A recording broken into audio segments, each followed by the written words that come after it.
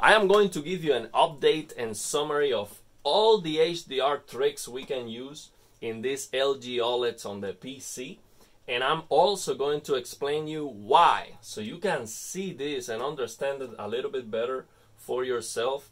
Also in case you have a different display or a different OLED TV you can get a trick that looks exactly like this basically. So let me show you first the settings in case that you don't care why you just want to play Evil West with HDR so the game doesn't support HDR I don't care. This looks fantastic. So let me show you the settings. We just need to first turn on HDR on Windows. So we just come here turn on HDR on Windows and we max out this slider okay? Just turn it on max out the slider. Then we go and we're going to come to fine tune dark areas and you lower fine tune dark areas to minus 30 okay? If you are not using G-Sync because you want to use black film insertion I'm also gonna give you the settings for that and explain you why. So we just come here to fine tune dark areas minus 30 okay? And then we come to all settings. Let me show let me show you the, the screen. So we come here advanced settings brightness screen brightness 49 and I'm going to explain you why exactly. And then we're gonna use HDR tone mapping off and we just have full full range and full on the GPU so full on GPU full on the TV and we come here under uh, select mode 111311 to access this secret menu. And we change mastering peak to 540 and max CLL to 540 so why I recommend this as a general settings for everybody, no matter what the LG OLED you have, because, I mean, it does need to support G-Sync and all of that. But I'm gonna give you an option if you don't have that available. Fine-tune dark areas. If you don't have fine-tune dark areas available, I'm gonna give you an option. So, why I recommend this instead of the HGIG trick that I was recommending before? Because this is going to work if you have a G2 for example. If you have a different uh, OLED, LG OLED even in the future if it can do 1000 nits or more this is going to give you the same results uh, as I can get on this 800 nit uh, TV so because you're going to push the brightness of that uh, display. So with the HGIG trick you are not pushing the maximum brightness of your LG OLED if you have a more capable uh, OLED. But with this option, you will get the maximum brightness of your TV. Okay, so we all get the maximum brightness of the TV by using this Mastering Peak 540 Max CLL 540. Okay, so this is a better uh, a better option because of that. But it is equivalent to the previous trick that I shared with you. So let me explain you why this is my recommendation on why this works. And also in case you have a different display you can verify this uh, for yourself. Before I do that let me show you uh, the equivalent value. So let's say you don't have G-Sync. Uh, you don't have this fine-tuned dark areas uh, because you have a different model doesn't have that or because you want to use black film insertion. So let's say I don't have fine-tuned dark areas. So this would be and 0 here. And just change it to 0 then what we're gonna use is the equivalent value here which is gonna be a screen brightness 41 okay? So this is the same. The screen brightness 41 instead of using fine-tune dark areas minus 30 and screen brightness 49 and the difference between these two options is that Fine-tune dark areas affects the lower end of the gray scale. So the midtones are gonna be brighter by using the fine-tune dark areas option, but this is equivalent and it's gonna look fantastic too. This is what I use for black film insertion. For most of the time I use this for black film insertion. So let me show you why. Why why is that we have to do this and how do I know that these black level values are equivalent. Okay, they are exactly the same. They are equivalent. Okay, so how do I know that? Let me show you. I'm going to turn off the lights. So, you know, I can just do a video showing you the game and a gameplay and telling you, oh, this is fantastic, it looks amazing. But I don't think that's gonna help you more than what I'm, what I'm gonna share you here. So I'm not trying to make this video fun. Uh, this is just a more detailed uh, video. So if you want to know why, okay? So let me show you with this test a pattern. And by the way, let me show you two screenshots of the game before we go there. So I took this screenshot. Is uh, the game is trying to do 472, 498 nits. So you see here the max CLL, 472. In this case, we have another case, maybe about the same.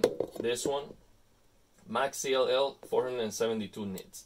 So the reason is when we max out this HDR slider, when we max out this, the max CLL we see on the games is 498. Okay, so that's why I select that mastering pick 540. Okay, because that's the closest value that I have. The the lower value is 400 nits, so that's that's not uh, that's not the best. So 540. So that's why the mastering pick and the max CLL. So now I'm going to explain you why the black level. So for that, what I'm going to do is I'm going to turn off the lights. And hopefully you can see this uh, test pattern that I'm going to share on the video.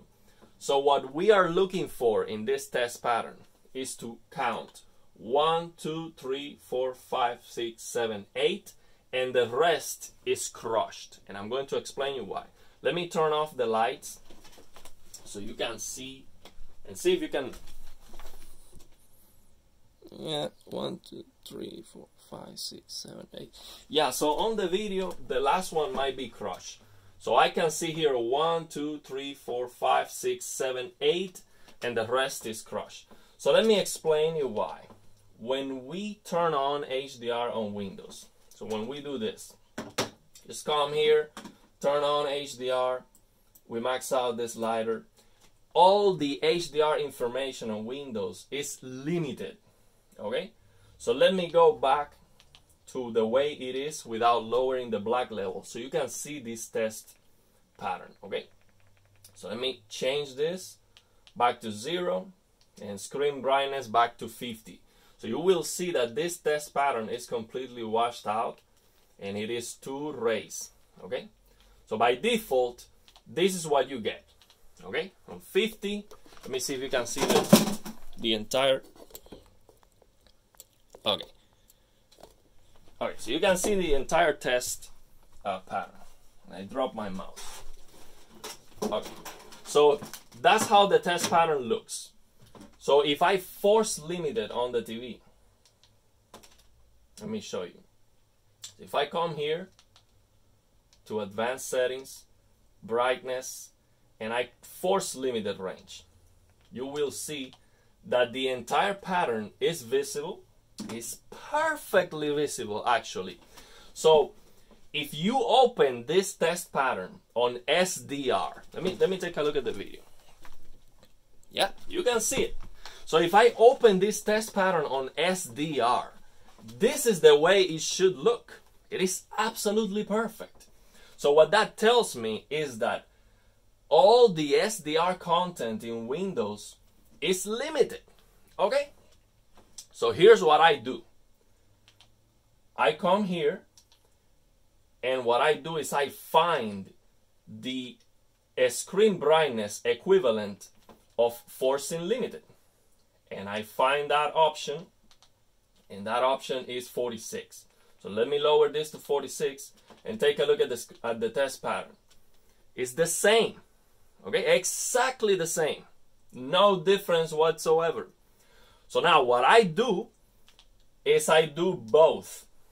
So if I now go here and force limited, so we already verified that this screen brightness 46 is the same as forcing limited. So now if I do both, take a look at, this, at the test pattern now. Now we have one, two, three, four, five, six, seven, eight and the rest is crush. So that the reason why I do that is because the games are limited inside that. Uh, so basically, you have all the SDR content in Windows. Let me turn on the lights again to explain. So basically, we have all the SDR content in Windows is limited inside that full HDR container. Okay? And the games are limited inside that. So what we have to do for the black level to play games is we have to double limit double limit the black level. And that's how we do it. So now let me show you uh, let me show you a fine-tune dark areas minus 30 and screen brightness 49. So you see that it is exactly the same as, as this at 46 and forcing and forcing limited. Let me show you. And as you see, this test pattern doesn't get uh, doesn't dim because I have TPC and GSR off on the service menu, especially TPC is off. Otherwise, you will see dimming after a while. So you see my TV never dims no matter what I do. It will never dim because I have TPC and GSR off on the service menu. So I'm going to change this to fine tune dark areas minus 30 and a screen brightness 49. So you see, me, me do that. So screen brightness 49. Okay? And make sure that black level is in full. Okay? So now take a look at the, at the test pattern. The same. 1, 2, 3, 4, 5, 6, 7, 8, and the rest is crush. That's exactly what you're looking for. You see that they are equivalent values. So what about what I the settings that I gave you before with the HGIG trick? I said before, let's let's do this instead. Let's use fine tune dark areas minus 11. So we can do this. Fine tune dark areas minus 11. We are going to use a screen brightness 49 and we're gonna force limit it and use HGIG. We come here, screen brightness 49, we're gonna use HGIG and we're going to force limited range. Take a look at the screen at the test pattern. It's the same again. One, two, three, four, five, six, seven, eight, and the rest is crush. Why? because they are equivalent values. So why this HGIG trick works? Let me open the game so you see that it looks fantastic. Why this HGIG trick works on this LGC1 specifically? Because, let me turn on the light. It works because the max CLL of the game is about 500 nits. And when you force limit it on the TV, that 500 nits max CLL becomes about 800. Okay, so that works. That works perfect for this LG C1. But if you have a G2, you are leaving brightness on the table. That's why, for a different TV, it is better this first uh, variant that I share with you on this video. It is better to use that max master pick 540 and the max CLL 540 because no matter what the maximum brightness of your display the display is going to basically push the brightness when you select that option. So there you go. And also we have the options. Let me see if I am missing something here. I already explained you how to get oh HLG basically.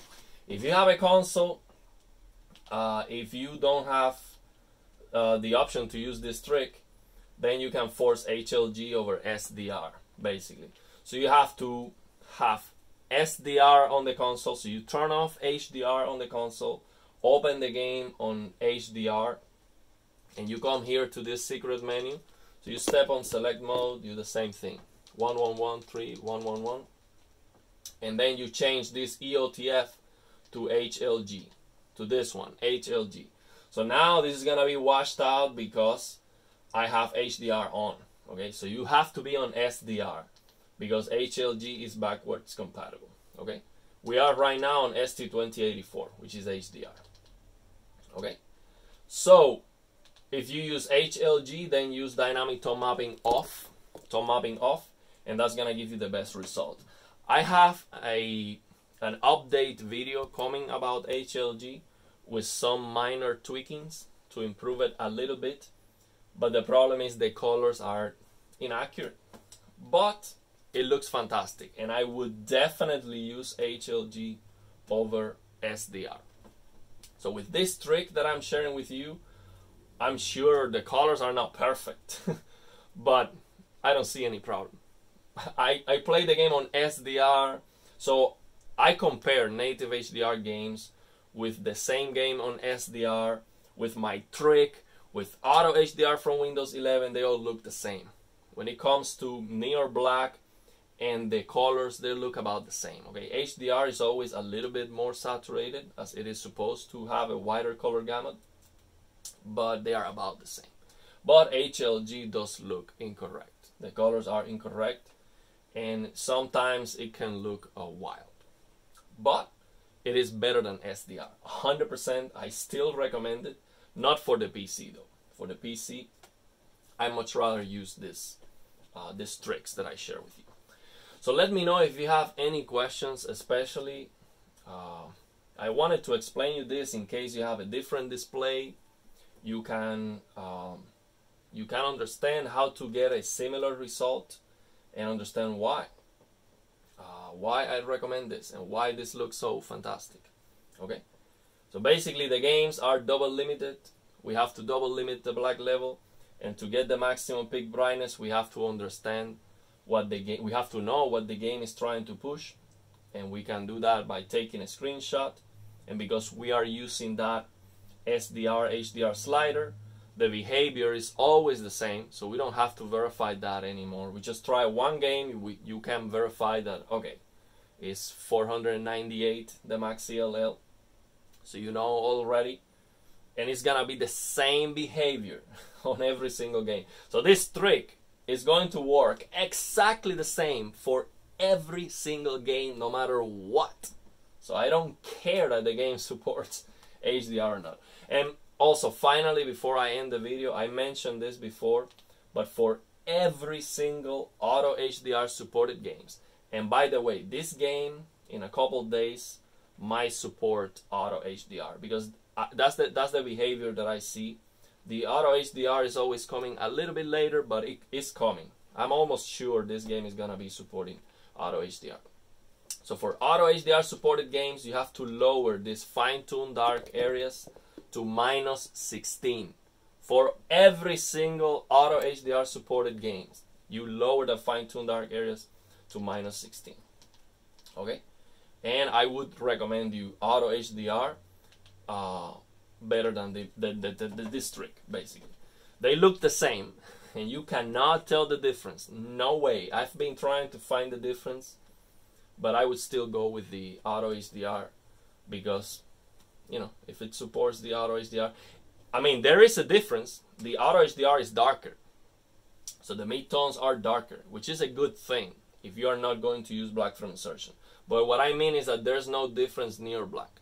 When you do this fine-tune dark areas minus 16 that I am recommending you, there's no difference uh, near black between SDR, auto HDR supported games, the trick that I'm sharing with you, native HDR that it is correct that doesn't have black level rays there's no difference.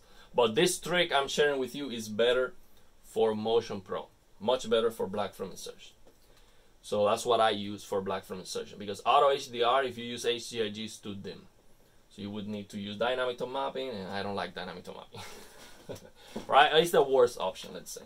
I always try to uh, avoid that because dynamic tone mapping raises the black level. By the way, if you want to use this trick with dynamic tone mapping, uh, then you would use uh, a screen brightness 38. So no fine-tune dark areas, screen brightness 38 dynamic tone mapping on. And if you want to find the equivalent value values using fine-tune dark areas, just open the test pattern that I show you. Turn on dynamic tone mapping and lower the black level until you get eight columns and crush the rest. Okay, let me know if you have any questions.